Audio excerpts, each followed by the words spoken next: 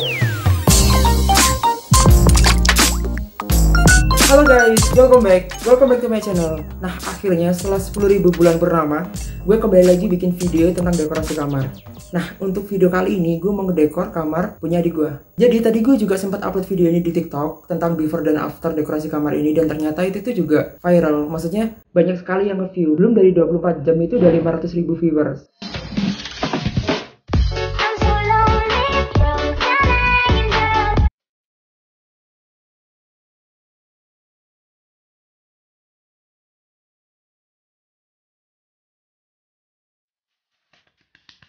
Amazing.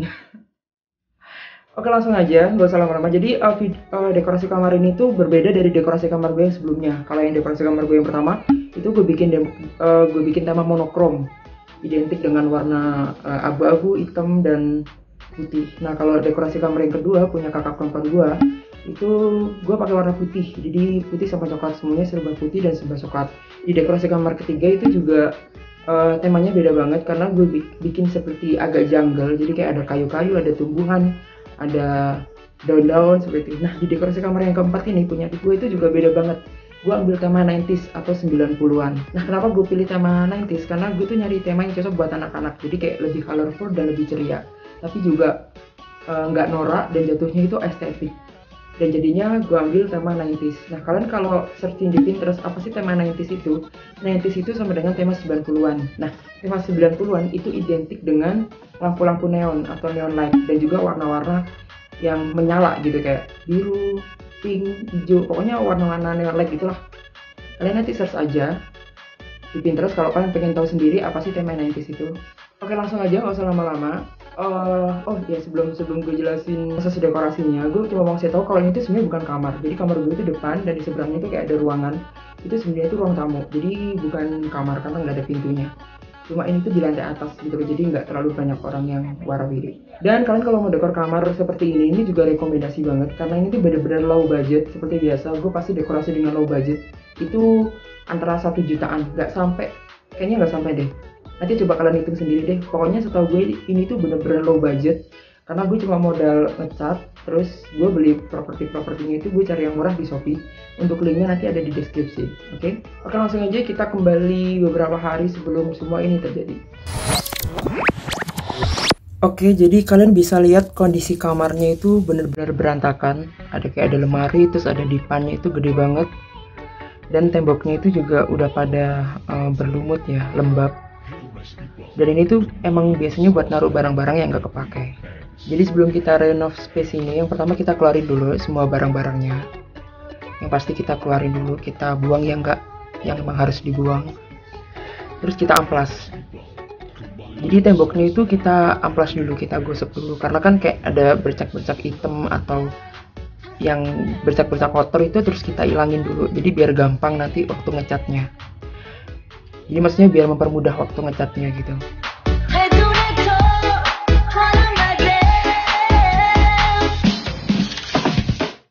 Oh iya, pada awalnya ini sebenarnya nggak pengen gue cat warna putih karena awalnya gue mikirnya pengennya biru soft.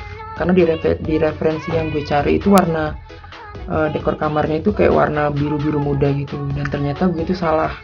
Jadi gue beli warna birunya itu kayak agak terlalu tua gitu jadi waktu diaplikasiin ke tembok itu jadi jelek gitu loh kayak kurang bagus kalau menurut gue nah jadi kayak gini kan. Birunya itu terlalu tua jatuhnya itu kayak agak norak kalau menurut gua. Terus eh, jadi kayak cat buat sekolah-sekolah TK gitu ya nggak sih? Dan kebetulan tembok gua kan karena lembab.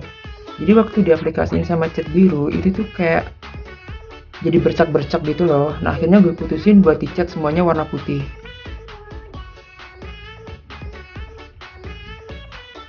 Nah ini setelah proses catnya selesai, setelah semuanya dicat warna putih, temboknya jadi kelihatan lebih bersih. Terus ini lagi masang tirai. Seperti biasa kalau proses masang-masang aku dibantuin sama bokap.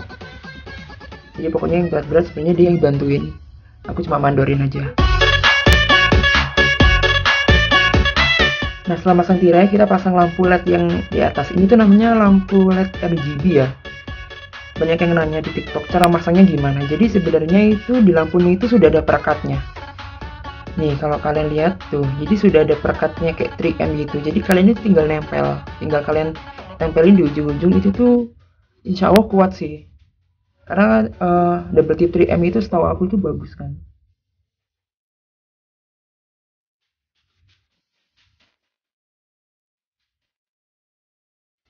Nah terus kalian nggak usah khawatir kalau misalkan kabelnya itu nggak nggak nggak nyampe semuanya kan mau nggak mau kan kalian harus gabungin sama eh, bagian lain, maksudnya sama lampu yang lain. Dan itu gabungin, gabunginnya itu gampang banget. Jadi kalian cukup eh, tempelin aja ujung sama ujung nanti itu udah otomatis akan nyambung.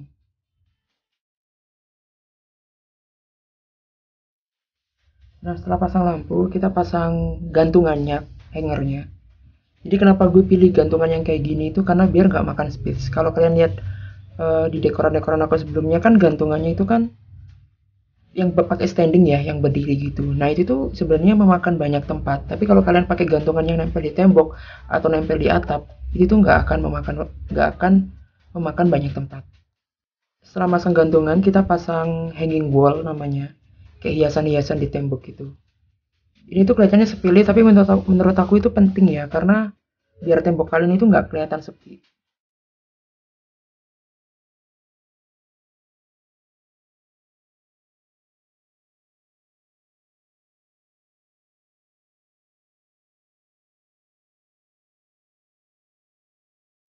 Ini masangnya juga mudah banget. Kalian tinggal paku, terus kalian tinggal cantolin aja. Pokoknya bener-bener semua orang pasti bisa masang ini. Nah setelah itu kita kasih frame poster seperti biasa. Di sini posternya aku bikin sendiri ya. Kalian kalau emang mau nanti aku jual di Shopee. Iya. Oke, setelah yang ditempel-tempel selesai, sekarang kita bereskan dulu semuanya. Kita rapikan. Habis itu kita pasang kasur dan lain-lainnya. Seperti biasa, eh, aku pasti pakai palet, papan palet atau papan kayu. Itu tuh harganya murah. Jadi aku beli, jadi gue beli itu sekitar harganya 15.000 per piece-nya. Di sini gue butuh dua, jadi cuma 30.000. Ini kasir kasur untuk kasurnya gue juga pakai kasur yang lama yang udah ada. Ini tuh awet banget. Nama kasurnya itu kasur Inoak. Jadi kasur Inoak itu emang terkenal awet sih. Kalian bisa searching sendiri. Terus kita pasang eh, spray dan bed cover. Oh ya ini udah satu paket ya. Harganya itu juga udah murah. Dan aku pilih warna biru biru tua itu biar emang biar matching sama temanya gitu kayak biru-biru dan ungu gitu.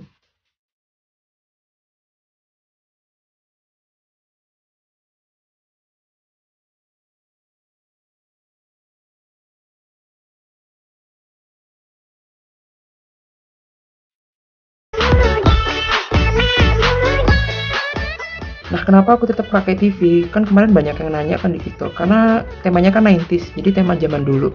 Menurut aku TV-nya masih oke sih dipakai. Lagian daripada nggak kepake juga mending ditaruh di situ kan. Bisa dibuat sama adik aku. Oke, sentuhan akhirnya kita pasang boys area. Jadi ini tuh kayak neon light namanya. Kan pokoknya semuanya kalian cek aja di deskripsi.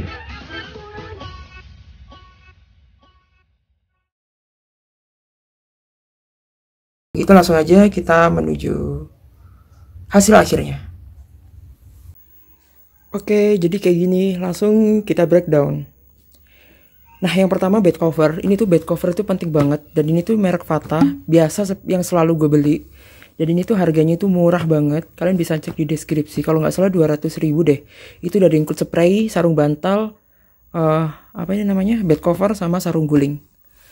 Terus ini karpet bulunya gue beli di Henzio kalau nggak salah. Kalian bisa cek di deskripsi. Ini tuh recommended banget. Ini tuh gede. Ini tuh sampai ujung-ujung gitu. Dan harganya itu cuma 200 ribuan. Kenapa gue bilang rekomendasi banget? Karena ini tuh tebel banget dan empuk. Tuh. Ini tuh bener-bener empuk dan tebel banget. Terus ini ada rak TV. Jadi ini gue juga beli di Shopee. Pokoknya ini semuanya gue beli di Shopee. Ini tuh juga murah. Kalau nggak salah 100 ribuan. Dan ini TV, oh ya tadi di TikTok ada yang komen kenapa pakai TV ini. Sebenarnya ini TV nggak kepake guys. Jadi daripada sayang-sayang kan mending ditaruh. Bisa dipakai adik gue kalau dia mau nonton TV atau main PS sih sebenarnya. jadi nggak harus TV yang bagus-bagus terus ini eh, apa namanya nah ini juga gue beli di Shopee tirainya ini ada dua ini sebenarnya gue salah karena itu agak agak pendek gitu loh padahal gue harusnya beli yang agak panjang kalian bisa cek di deskripsi juga terus ini eh, gantungan baju ini kenapa gue beli beli kayak gini dan yang nempel di tembok nggak kayak punya gue yang standing karena kan tempatnya kecil. Jadi kalau kalian pakai standing juga itu nanti akan ngabisin tempat yang di bawah. Jadi eh, gantungan baju kayak gini itu bener-bener jadi alternatif buat kalian kalau yang punya kamar sempit. Terus ini gantungan baju ini tuh juga murah kalau nggak salah 6 ribu apa 8 ribu satunya. Gue beli satu pack itu ada 12 eh ada nggak tahu deh lupa pokoknya kalian cek di deskripsi aja. Ini juga rekomendasi sih, jadi kayak kamar kalian tuh biar estetik. Terus ini, ini sebenarnya itu eh, punya gue yang di dekorasi kamar yang lama. Eh, nggak gue pakai karena ya nggak gue pakai aja. Iya, jadi dipakai di gue karena dia suka agak gelap-gelap gitu kan. Terus ini yang banyak ditanyain sama masyarakat di TikTok. Jadi ini tuh gue juga beli di Shopee, link deskripsinya ada di bawah. Nah ini tuh kalian bisa request, bisa request tulisan, bisa request warna, dan bisa request ukuran. Nah kalau harga-harganya gue lupa, kalian bisa langsung nanya aja adminnya yang ada di Shopee. Linknya ada di deskripsi. Terus ini, ini juga satu toko. Ini tuh eh, hal-hal kecil kayak gini tuh menurut gue penting banget. Ini juga murah kok, berapa ya harganya? Eh, gue lupa pokoknya ini tuh murah banget. Kalian bisa cek. Jadi itu bisa buat naruh hiasan-hiasan gitu loh. Jadi biar kamar kalian tuh nggak sepi banget. Terus ini peta. Kalau peta ini gue bikin sendiri. Kalau emang banyak yang minat, nanti gue jual di Shopee seperti poster yang sebelumnya. Eh maaf ini bukan peta ini poster poster galaksi. Ini ini tuh kayak gantungan kunci. Literally ini tuh lucu banget sih. Kalau ini gue nggak beli di Shopee, ini gue beli di teman gue. Kalian cek Instagramnya Obu Project. Nanti linknya aku taruh di deskripsi. Terus yang terakhir lampu ya. Nah ini juga yang banyak ditanyain orang-orang Eh, lampunya itu sebenarnya bisa disamain ya cuma ntar, gua ambil remote. Jadi ini tuh bisa disamain warnanya. Nah karena itu kan ada dua bagian. Jadi di sini tuh bisa sama sini tuh bisa. Ini har- harganya kalau nggak salah 50.000 ribu. eh 5 meter. Jadi ini karena jadi ini gue beli kayak dua piece. Jadi motong di sini nih gitu tapi itu masangnya juga gampang banget kan kayak tadi di video sebelumnya kan tinggal direkatin aja kalian kalau mau beli eh, linknya udah ada di deskripsi